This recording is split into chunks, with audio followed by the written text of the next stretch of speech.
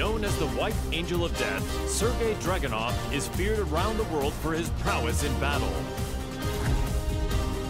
As the conflict between G Corporation and the Mishima Zaibatsu enveloped the planet in chaos, he received new orders.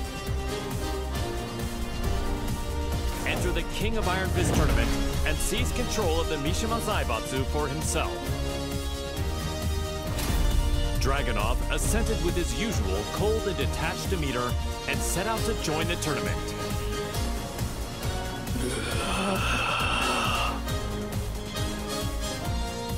The Mishima Zaibatsu, as well as its myriad assets, were placed under the supervision of Dragunov's homeland, and thus the White Angel of Death was finally given a brief yet well-deserved respite. К другим новостям. Очередная компания пала жертвой глобального экономического кризиса, вызванного действиями корпорации G. Всемирно известное издательство объявило о банкротстве.